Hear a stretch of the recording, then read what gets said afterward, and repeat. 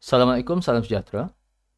Dalam video kali ini saya akan bincangkan satu lagi soalan berkaitan dengan topik forces. Soalan ini berkaitan dengan konsep equilibrium. So mari kita tengok soalannya. A car with weight 15,000 Newton is being towed up at 20 degree slope at a constant velocity. Friction is negligible The tow rope is rated 6,000 Newton maximum tension. So the question is, will it break? So, mari kita listkan terlebih dahulu information yang soalan bagi. Dalam soalan ini, dia bagi tahu kita bahawa the weight of the car is 15,000 Newton. Okay. Dan juga angle theta bersamaan dengan 20 degree. So apa yang kita tahu lagi, friction tidak ada. Okay, so friction ko kosong. Friction is negligible. Sedanglah soalan ni dia tidak melibatkan friction. So soalan dia cakap, tali yang tarik kereta ni boleh tahan force sebanyak 6000 Newton. So itu maximum force yang dia tarik. Jadi soalan dia, adakah tali ini akan terputus? Ah, jadi kita nak cari tension pada tali. Okey, kita nak cari tension pada tali. So unknown kat sini adalah tension. Sekiranya tension itu lebih daripada 6000 Newton, therefore jawapan dia yes. Okey, kalau tension is larger than 6000 Newton, maka yes lah. Okay, memang akan pu akan putus. Kalau tension lower than 6000 Newton, maka dia tidak akan pu putus. If tension is lower than 6000 Newton, therefore tali tak putus lah sebab maximum tension yang boleh uh, ditahan oleh tali ini adalah 6000 Newton. Okay, so dalam soalan ni, basically kita kena draw free body diagram. Tapi sebelum kita draw free body diagram, mari terlebih dahulu kita identify forces pada gambar rajah yang telah pun diberikan pada soalan. Okay, step untuk kita identify forces adalah kita bulatkan dulu sistem yang kita nak kaji. Dalam kes ini, sistem yang kita kaji ini adalah kereta dan kita anggap kereta ini sebagai satu point mass. Okay, dan kita travel around the curve untuk tengok mana point yang mana environment menyentuh sistem dalam kes ini kereta kita. So, yang pertama sekali, the surface uh, of the incline sentuh kita punya kereta, jadi kita akan ada normal force. Okay, bila ada surface, akan ada normal normal force. Yang kedua, ada tali. Therefore, kita ada tension upwards. Okay, tension is always away from the object. Itu direction dia. Dan yang ketiga, force yang kita ada adalah cause the weight of the car always downward. Okay. So dekat sini, kita nak lukiskan uh, forces yang kita dah identify ini di dalam free body diagram. Untuk melukis free body diagram, jangan lupa terlebih dahulu kita lukiskan uh, kita punya koordinat axis, x dan juga y. Dan koordinat axis ini kita sengatkan mengikut incline. Kita pilih x axis along the incline plane. Kemudian, kita juga perlu clearly define arah mana yang po positif. Dalam soalan ini, uh, kita boleh pilih mana-mana arah saja sebagai positif. Tetapi dalam soalan berkaitan dengan equilibrium, lazimnya kita memilih arah kanan ataupun arah kanan sebagai positif X, arah kiri sebagai negatif, upward sebagai positif dan downward sebagai negatif. Okay. Setelah kita lukiskan koordinat axis dan clearly define kita punya arah, barulah kita lukiskan ataupun kita represent object as a dot. So the object is represent as a point mass. So force yang pertama adalah normal force. Normal force pada y axis. Okay, normal force pada y axis perpendicular to the to the plane. That is the normal force. Tension force along x-axis in the positive direction. And we have weight. Weight is always directed down downward. Okay.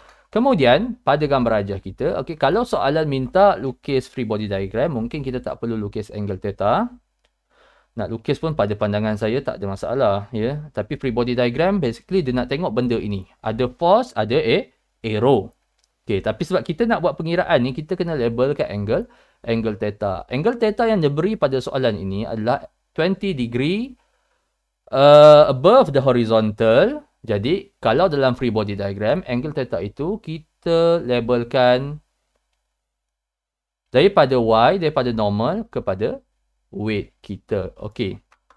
Jadi, itu dia uh, forces yang ada pada objek ini. Seterusnya, kita cuba uh, masukkan forces yang ada ini pada X dan juga Y komponen di dalam table. Okay, kerana apabila kita nak apply equation of equilibrium, okay, mungkin kita kena apply equation of equilibrium pada x axis dan juga y axis. Jadi apabila kita lukiskan, kita tuliskan di dalam table, kita akan nampak dengan lebih jelas uh, apa yang kita ada dan apa yang kita tak ada yang kita boleh cari daripada equation ini. So, atas dia biasanya saya akan tulis force x component dan juga Y component. Force yang ada adalah normal force, tension, weight. Okay, so ada tiga force di sini. Kalau kita tengok normal force kita tidak ada pada X component. Normal force betul-betul berada pada Y component. Jadi X component bagi normal force adalah 0. Y component bagi normal force adalah positif N. Okey, pasal apa? N ke ke atas. Bagi tension pula, tension hanya ada pada X component saja. Kita tengok dalam gambar rajah, tension ada pada X component. So, the X component for tension is T, tension. Okey, positive direction. Manakala tension tidak ada pada Y component. Jadi, the y component for tension is 0 Newton. Sebaliknya pada uh, force weight, okay, pada weight, kita boleh resolve weight ini kepada x dan juga y component. Kita perhatikan bahawa angle theta menyentuh y component. Jadi, y component adalah adjacent pada angle theta. X component adalah opposite dengan angle theta. Jadi kalau opposite dengan angle theta, kita akan gunakan sin. So, Wx bersamaan dengan W sin theta. Okey, pasal apa? Wx opposite dengan angle theta. Walau bagaimanapun, kalau kita tengok Wx kita berada pada arah negatif x axis. Jadi jangan lupa kita include negative negative sign.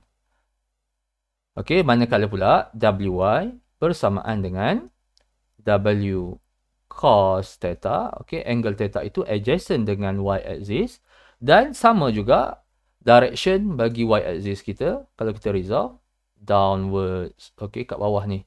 Okey. Saya dalam free body diagram, saya biasanya tak lukiskan yang resolve vector ini, Wx dan Wy dalam free body diagram saya sebab saya nampak serabut. Ya. Tapi saya harap pelajar nampak bahawa Wx ke kiri dan Wy ke bawah. Okey, jadi jangan lupa kita letakkan negative sign dalam kita punya table. Okey, dan since kita apply uh, the concept of equilibrium, kenapa kita apply the concept of equilibrium di sini? Okey, kerana soalan kata the velocity is constant. Ah. Bila velocity constant,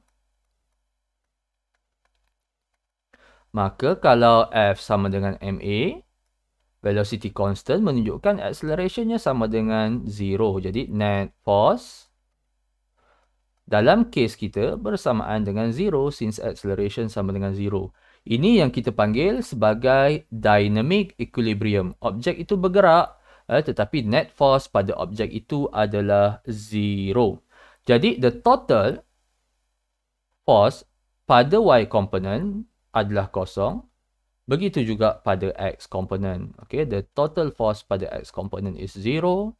And the total force pada y component is also zero. Jadi, para pelajar semua, kita tengok. Kita nak cari tadi nilai tension.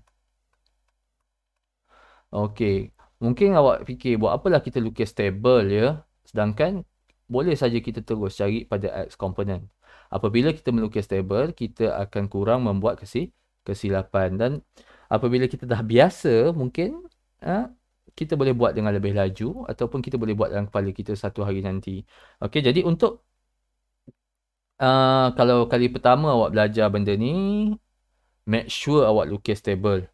Okey, dalam tutorial, dalam quiz, lukis table kerana itu sebagai satu lah latihan. Okey, kita nak cari T kalau kita tengok pada komponen X sahaja yang ada tension. Okay, pada komponen Y ini tak ada tension. Okay, jadi apa yang boleh kita tulis daripada X komponen? Mari kita tuliskan dulu equation pada X komponen. Mungkin boleh diselesaikan tanpa kita tengok pada Y komponen. The net force pada X komponen is equals to 0. Positive T minus W sin theta is equal to 0. So, tuliskan equation positive T minus W sin theta is equals to 0. So, positive T minus weight is 15,000. Sin theta angle theta is 20 degree. That is equals to 0. And in fact, kita boleh solve equation ini untuk mencari nilai T. Semak sama ada jawapan saya betul ataupun salah. The value of T is equals to 5,130.3 Newton.